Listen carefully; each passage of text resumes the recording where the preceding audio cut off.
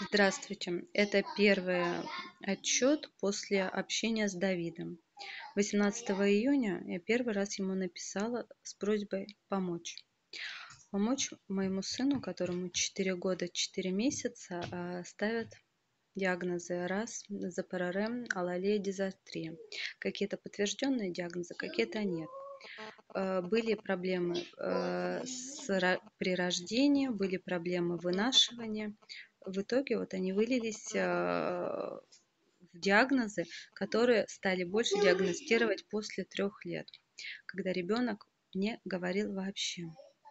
Мы побежали к специалистам, стали обращаться в центры. Благо в городе у нас очень их много, очень хорошие, э, замечательные центры, специалисты, но разговорить смогли, а понимание э, и странности поведения никуда не делись.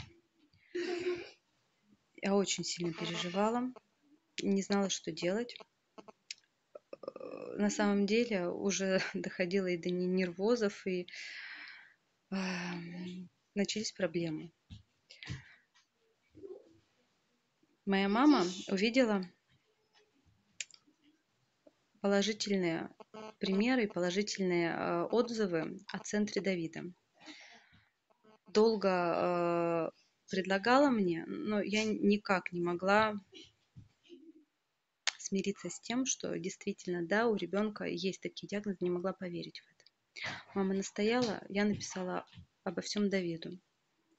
Первое а, наше общение, он сказал, что во мне очень много страхов, которые нужно убирать. Чем, собственно, мы занимались. После того, как он посмотрел на Игоря, э, посмотрел на меня, поработал со мной, во мне стали происходить именно во мне изменения. А действительно, я поняла то, что он мне сказал, что все от семьи, от мамы, от папы, все в наших головах. Действительно, в Игоре стали происходить изменения. У него он как будто проснулся. После первого э, сеанса э, он начал э, говорить предложением у него появились, появилось в глазах желание жить, что-то изучать. У него изменился взгляд. Причем э, это подтвердила не только я, но и в центр, в который мы ходим. Это первое э, сообщение. Я думаю, что следующие будут с такой же положительной динамикой.